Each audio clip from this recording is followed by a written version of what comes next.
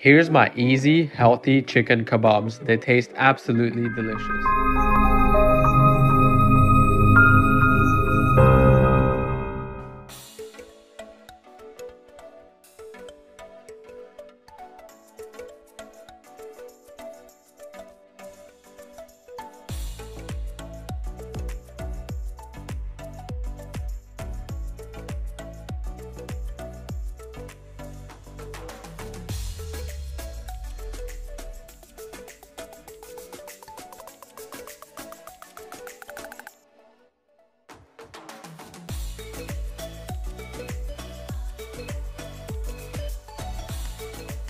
Here's my easy, healthy chicken kebabs. They taste absolutely delicious. Cut your chicken into cubes, marinate with olive oil, fresh garlic, grated onion, paprika, salt and pepper, turmeric, low-fat yogurt, and half a lemon juice.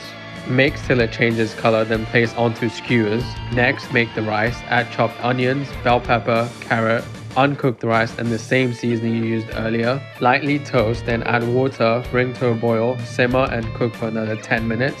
Set aside, then in the same pan, cook the chicken for 4 minutes on each side till golden brown. Serve directly on top of the rice with a yogurt mint sauce, and that's it. Enjoy.